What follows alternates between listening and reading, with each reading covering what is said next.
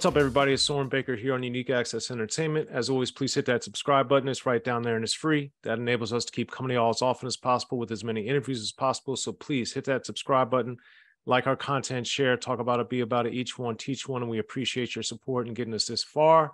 Also, if you haven't already, you can join. That helps us in a lot of other different ways. So please hit the subscribe, hit the join, both right there.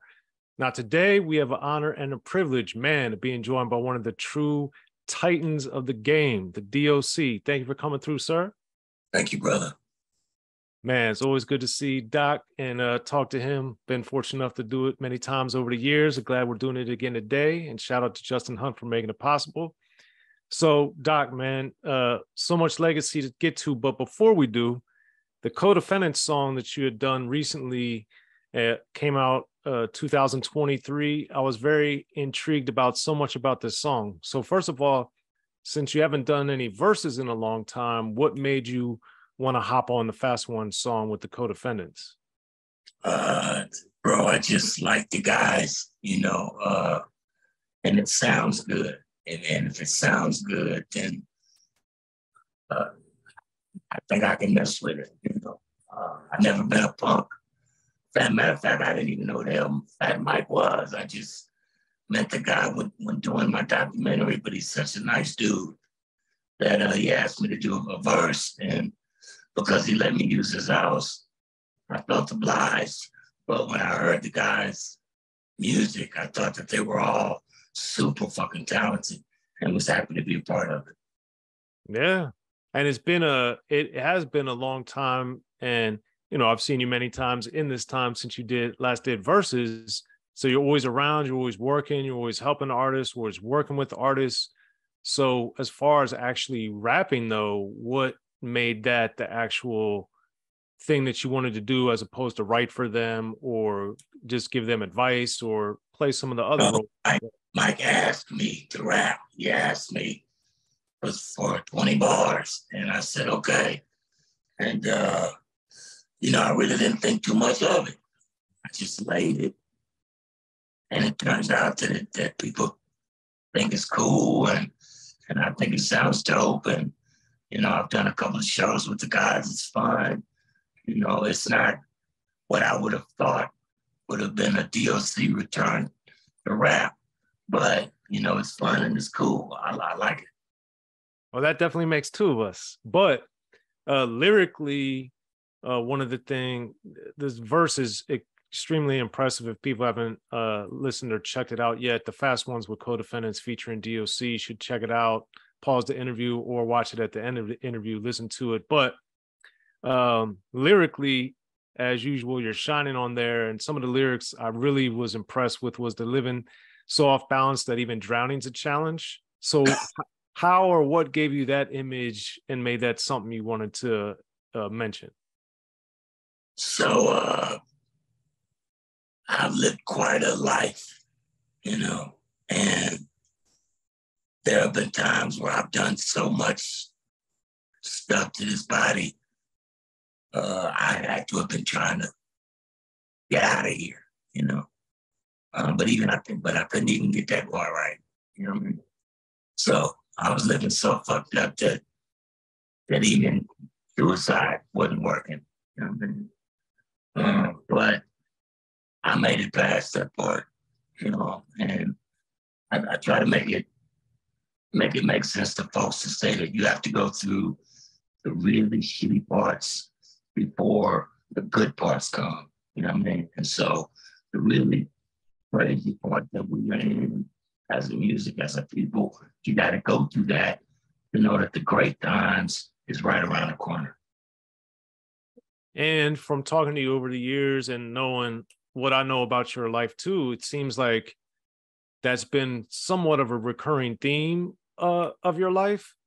Or, would you say that's true? And if so, why do you think that's a lesson that you have to remind yourself or you have to go through multiple, you've had to go through multiple times? Yeah, man, you got you go through it till you get it right, you know. And, and uh, I just got here.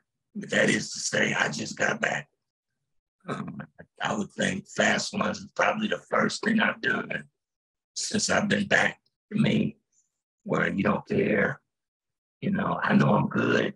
hell, I've been good a long time, you know. I've known that a long time. But it was it was put into me so much that the voice was no good, it didn't work, it don't sound good, that I just shut it, shut it down. I still write raps all the time and record them. I just record them for me. Um, but when my gas, I did it, gave it my best. I'm glad folks dig it because, you know, it makes me feel good. Yeah, it's very powerful verse. Also on the fast ones, you have a lot of like uh, social commentary and talk about clowns and blackface and minstrels and all kinds of stuff. And for uh, the stuff I think most people normally associate you with as an artist, it's not overtly political like that. So why I've talked to you many times though, just you and me talking. I know you have a very wide ranging level of interest, but I think for a lot of people that might have surprised them. For me, I was like, oh, that's some of the conversations we've had. He's talked about that to me. But what made you want to kind of break from how you're perceived and put that type of commentary in a song? Uh, it just fit the record. You know, they were it's a punk rock record, so you're supposed to talk shit. And and so I feel like we need to be, we need a little shit talking to ourselves, just us, because we do have to fix some of the stuff that we doing that's ass backwards.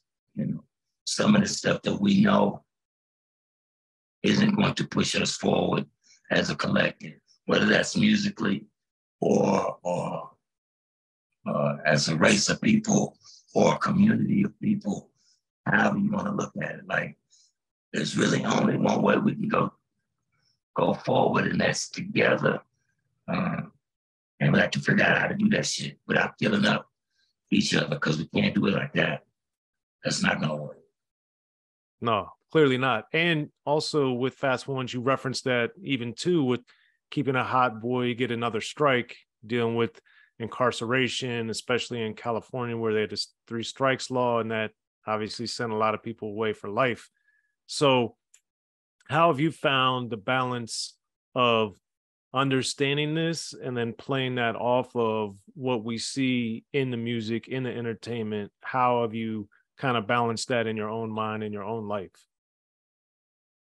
So, like, I'm a God cat. You know what I mean? Like, I, I, uh, uh, we, we might get uh, we might get interrupted by my sons. They just walked in the house. But I use that. My sons, my my everyday was real was was really important to balance how I think about these topics. You know what I mean? Because I'm 55 years old, just, um, and rap is cool, uh, but it's much more important to uh, to build a place where these kids can grow up and have things and do things and be things. Uh, and as a collective, that's the kind of stuff I, I really want to talk about because I think that's that's where we're going. You don't have to be a soft uh, nigga to do that. You know, you could be a real one. Uh, you don't have to be a soft guy to want what's what's right and what's cool. So that, that's what that's what I'm here to, you know, try to redefine what, what that is and see if I can uh, help us understand uh, the trajectory that's probably best for us as a group to go get this paper and keep it. Right. And I think that's going to be an interesting. So, has this inspired you to? Are you working on a project that you're actually going to release, or are you just going to see how things develop, or what? Yeah, they asked me to come back. I'm on my way to Vegas next week to do a couple more songs with these guys. They asked me to go on tour. You know, so who knows? You know, I mean, if it works for punk rock, let's punk rock it out. But my uh, the stuff that's that's really important to me um, is getting this film out because I think the film is the first domino for the next season right? Uh, I got a lot of work to do, and some of it is rapping, but some of it ain't, you know. And uh, I think that that uh, that documentary is the first domino. Then I get to do all the things I want to do in Dallas, where I'm from, and give them their their their thing, you know, finally. And uh and see if I can put some glorious work in there, some legacy work. Some of it's rapping, but some of it is getting together with these young guys that's trying to do it. Some is trying to uh, change the dynamic of uh, where it's going with respect to what kind of music you get on the radio all the time. Change the, the trajectory of where our communities are going based on the music that we're making sure gets heard out there. You know what I mean? Like it's a whole thing with me these days. But I'm excited about the next 50. All right. And then what is going on with your documentary?